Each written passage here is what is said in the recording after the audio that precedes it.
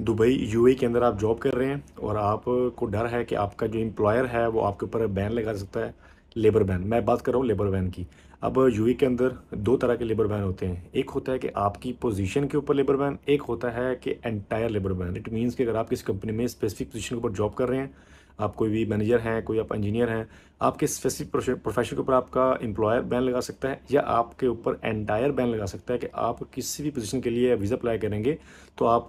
एक साल तक जो भी उसका टेन्यूर होगा, तब तक आप वो वीज़ा अप्लाई नहीं कर सकते। अगर आप जॉब स्विच करते हैं या आप कहीं पर जॉब फंड करना चाह रहे हैं या आप कहीं जॉब होगी है, ये किस सूरत में लगता है और क्यों लगता है? जब भी आपके हालात मामला आपके एम्प्लॉयर के साथ बिगड़ते हैं, आपकी कोई अनबन होती है या आपको एम्प्लॉय एम्प्लॉय पसंद नहीं आता, आप बिना बताए जॉब छोड़ देते हैं, या आप अपने होम कंट्री जाते हैं, एक साल की छुट्टी पे बाद में वापस नहीं आते यहाँ पे तो इन सूरतों में आपका जो एम्प्लॉयर होता है, वो आपके ऊपर लेबर बैन लगा सकता होता है। तो ये दो टाइप्स के लेबर बैन होते हैं। एक होता है आपके पोजिशन का, और दूसरा होता है कि एंटायर लेबर बैन हाँ अगर आप